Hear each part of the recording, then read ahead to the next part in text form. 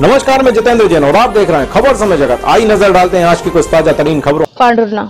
पांडुरना सब्ज़ी मंडी में प्रतिदिन सैकड़ों लोग सब्ज़ियाँ खरीदने, बेचने और उनका परिवहन करने आते हैं।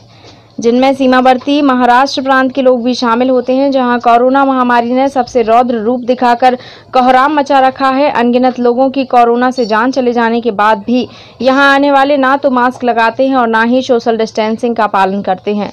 उस पर भी मज़े की बात तो यह है कि सब्ज़ी मंडी के ठेकेदार कृष्ण कुकरेडे के कर्मचारियों के द्वारा दलालों से सौ सौ रुपए लिए जाते हैं। इसके अलावा वे खरीदारों, किसानों और यहाँ तक कि सब्ज़ी ढोने वाली गाड़ियों से तक मनचाही वसूली करते हैं।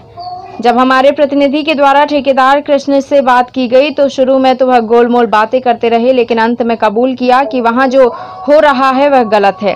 अब सवाल यह उठता है कि स्थानीय प्रशासन और अन्य जवाबदार लोग अब भी जागेंगे या नहीं? हालाँकि इस मामले में कार्यवाही ज़रूरी है।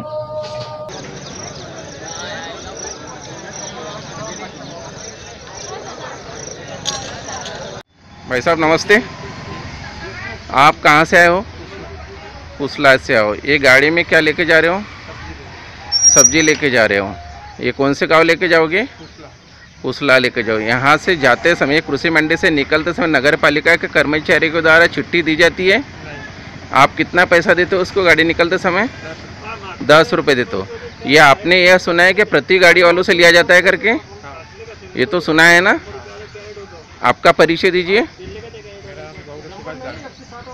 गौरव? हाँ बुढ़ा हाँ कोरडी जी बोल रहे थे? हाँ हाँ। हाँ भैया आप आपके नाम से ठेका है क्या? क्या भैया? आप ठेकेदार हो क्या सब्ज़ी मंडी के? हाँ जी हाँ।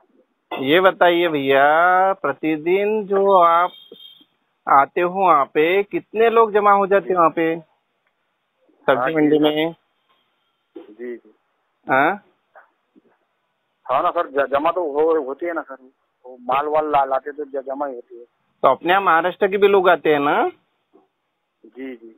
और बाहरी जो आने जाने वाले लोग हैं किसान के लोग है तो उन लोगों से हाँ, अपन हाँ। छुट्टी भी लेते हैं। हाँ तो वो तो दलाल से लेते ना सर। सौ सौ रुपये दलाल देते हैं। और ये किसानों से भी लेते ना अपन? नहीं नहीं नहीं। किसानों से नहीं लेते क्या अपन? किसानों की सब्ज़ियाँ लेने वो आते हैं सब्ज़ियाँ बेचने के लिए जो दलालों के माध्यम से तो उनसे भी तो लेते हैं ना अपन? हाँ दलाली दे सर सौ सौ रुपये हाँ दल, दलाल- दलालों के माध्यम से आपको मिलता है वो बेचने के उपरांत।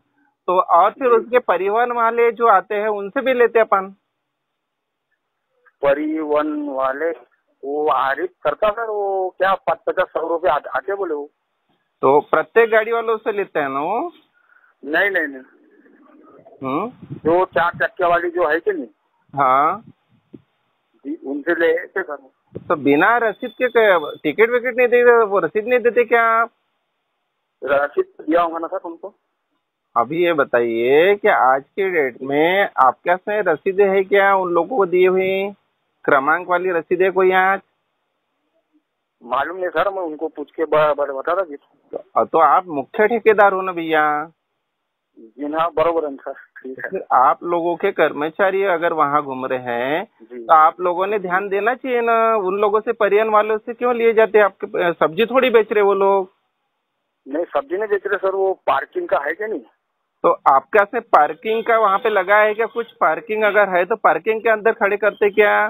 वो सब्ज़ियाँ जब अपने सब्ज़ी मंडी से लेके जाते हैं और वो अपने गाँव या घर पहुंचाते हैं मन- यानी जहाँ बेचना है उस जगह पहुंचाते हैं उन गाड़ी भाड़ा वालों से आप लेते हो ना परिवहन करने वालों से? मैं उनको पूछ के बताता सर तुमको।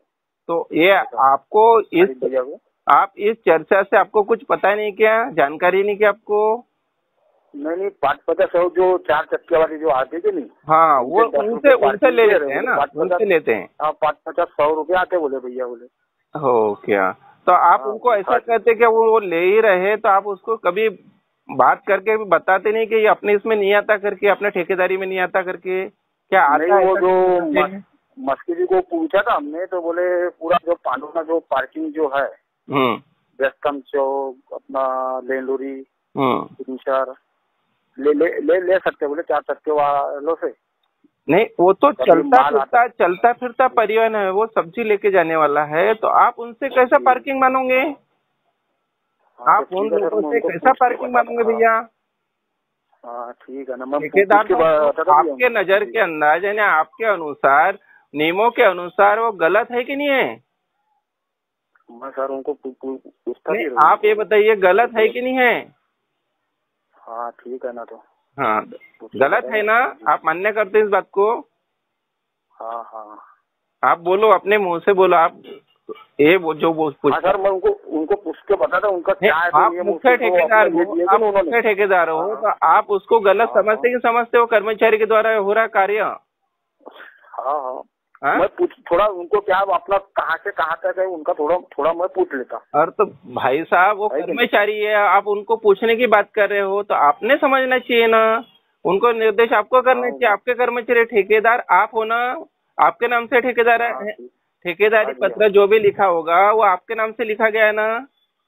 हाँ ना सर हाँ। तो फिर लिखा गया तो आप उनको सूचना दोगे क्या उनका उनके द्वारा आप ये करोगे? हाँ जी ठीक है ठीक है। वो गलत है कि नहीं गलत है। गलत है ना? हाँ ठीक है। मान्य कर रहे ना आप? हाँ ठीक है ना सर। हम्म, पूछता अभी उनको हाँ। फ़ोन लगा के। हाँ तो आप, उसको घर आपका नाम क्या है? ठेका पत्र पे क्या लिखा गया है? इतना कुकोड़े भैया।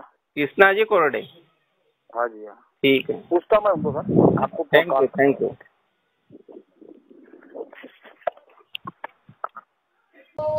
खबर समय जगत के लिए पांडुरना से देवेंद्र खुरसंगी की report. Latest news subscribe to our channel and press the bell icon